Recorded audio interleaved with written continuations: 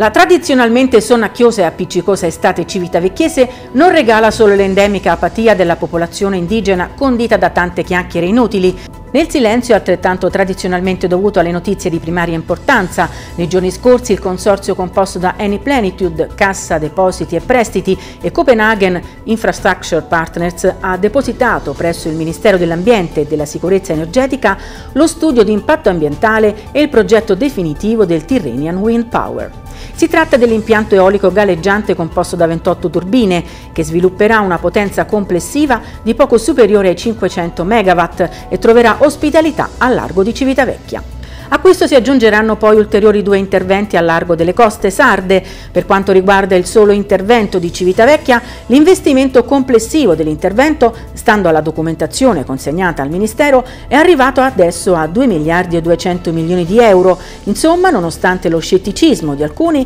il progetto va avanti e percorre peraltro abbastanza velocemente tutti i livelli istituzionali e burocratici. C'è da dire che da altre parti lo scetticismo attorno all'eolico offshore non si manifesta.